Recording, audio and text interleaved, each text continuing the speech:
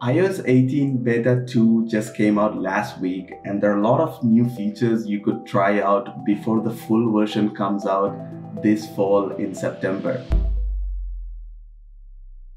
I'm a person who do not install iOS beta versions on my daily iPhone, but this time after beta 2 release, I haven't heard anyone complaining about any nasty bugs or battery issues as such. So I gave it a try and installed iOS 18 beta 2 version on my iPhone 15 Pro.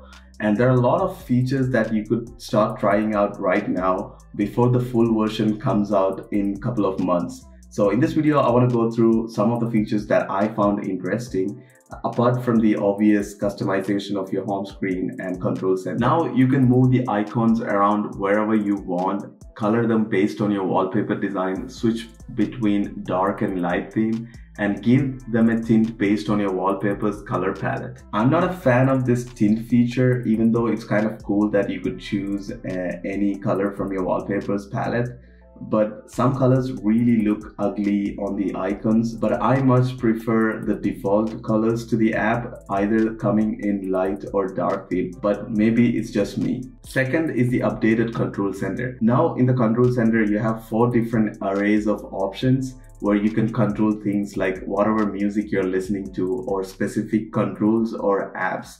And for these control icons, you can also choose how big you want them to be. So based on how often you use a specific control, you can get that icon to be a specific size. So you have more accessibility to it. I think that's cool. And also you could rearrange them in any order or place where you want them to be in your control center. Number three, iMessage Alive.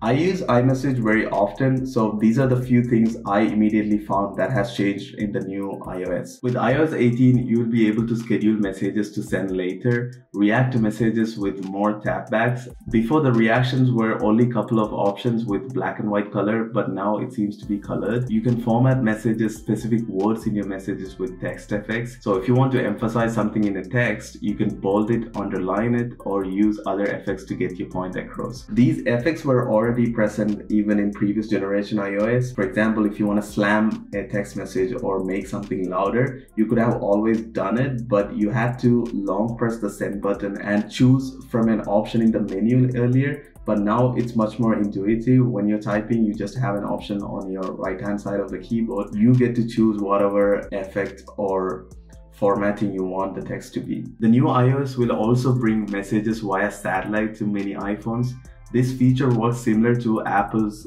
emergency SOS via satellite feature introduced on the iPhone 14 and 15 models. But while emergency SOS is marketing an emergency call even if you don't have a signal, messages via satellite will let you send message to anyone even without a signal.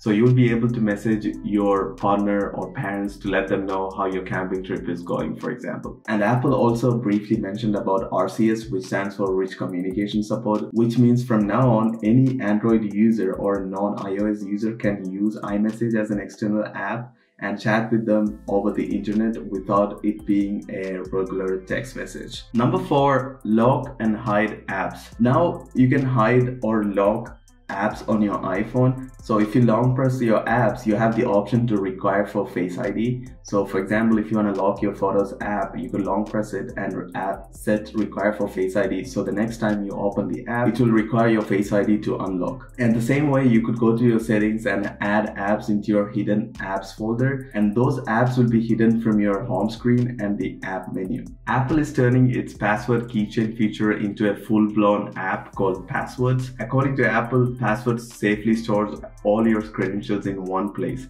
It can also sync your passwords across your Apple devices. The way if you change your Netflix password on one device but not on another, the password will follow so you don't have to forget it. The next major update is on Notes app. iOS 18 has massively updated the Notes app. Now it's way smarter than before. Now you can do simple math formulas in your Notes app and it would give you the answers and solutions on it real time. It is also smart in a way that you can have different variables assigned different values and then refer to those variables to equate in a final equation and it would calculate the values for it. Along with this, Notes will get live audio transcripts, collapsible sections to keep the app organized, and the ability to highlight certain phrases.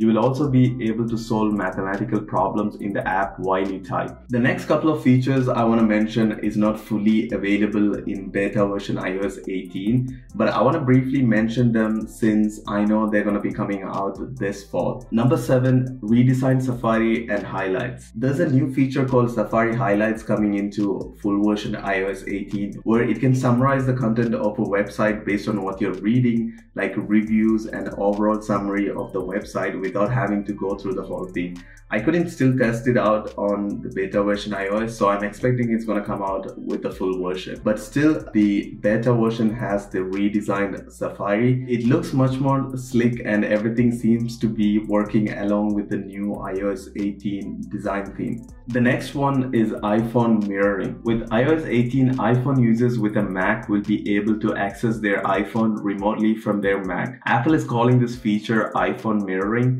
and it will work in conjunction with upcoming macOS Sequoia. So instead of sending a file from your iPhone to your Mac, now you will be able to just access your iPhone from your MacBook and drag and drop things between them, which I think is much more convenient because right now, if I edit a video or photo I have to airdrop it from either from my phone to my MacBook or from my MacBook to my iPhone uh, if I want to post it on any social medias. So this is gonna make it much easier. Apple announced their own spin to generative AI and they're calling it the Apple Intelligence.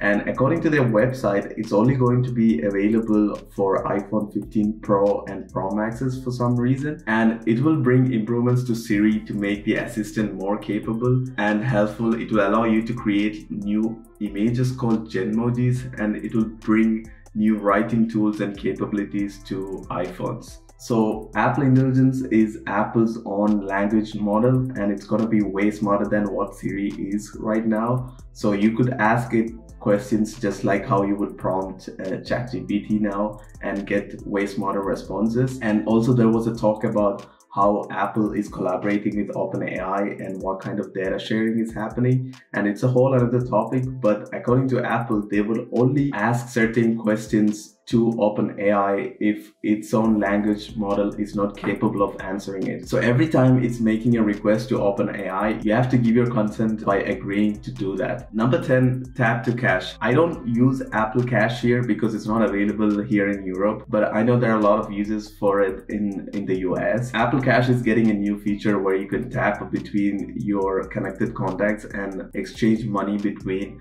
each other just like how you're airdropping pictures or any sort of uh, media. So these are some of the features you could try out now with iOS 18 Beta 2. Just because some of these features are available in beta version doesn't mean it's going to make it out to public. And it also means there will be way more features than this in the full version when it comes out in fall.